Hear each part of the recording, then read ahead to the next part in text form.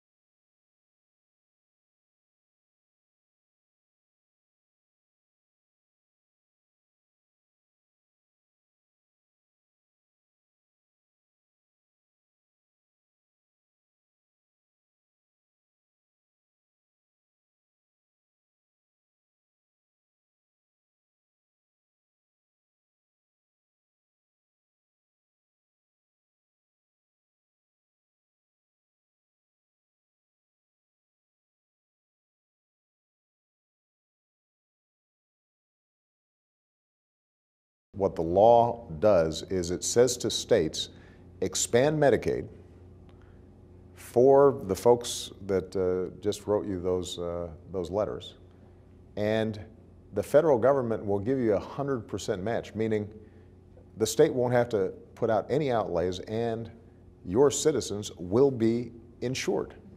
And for political reasons, a number of the states have chosen not to take us up on that.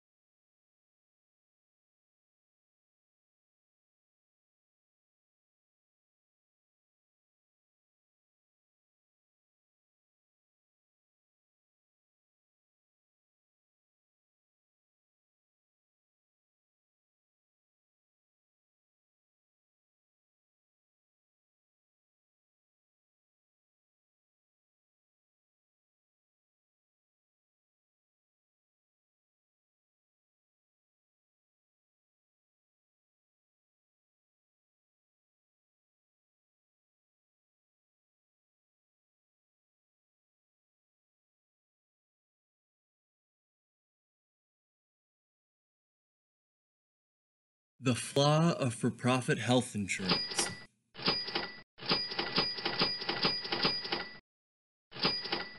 Profits drive the health insurance industry. That is a central problem. Some industries just aren't made for the market. Let me give you an example.